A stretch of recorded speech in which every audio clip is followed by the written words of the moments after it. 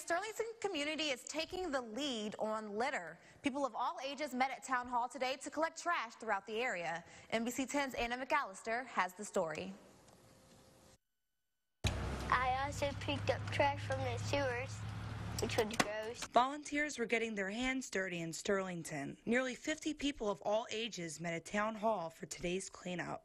The event was a major effort to remove litter from the area. Deborah Evans with Keep Ouachita Parish Beautiful saw a video on Facebook that sparked the idea. I was watching a Facebook video of Chief Bonner picking up litter in our area, and I reached out to him and asked for the mayor's phone number, got in contact with him, and we arranged a cleanup. And with trash pickers in hand, the volunteers went to work. Various items found scattered across the side of the road. Bags and bags of trash piled up just from two hours of collecting.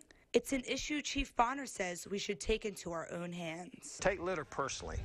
Uh, it isn't something that you should think that someone else is going to take care of. It's something that you yourself need to take care of. Working tirelessly through the beautiful sunny morning, the volunteers achieved their goal. An entire truck bed stacked with a huge mound of trash bags. Mayor Cesar Velasquez hopes the effort encourages others in the community to get involved. The average citizen can make an impact, and that's really what we hope to teach. It's a movement about keeping the community beautiful, but more importantly, it's about keeping our environment safe.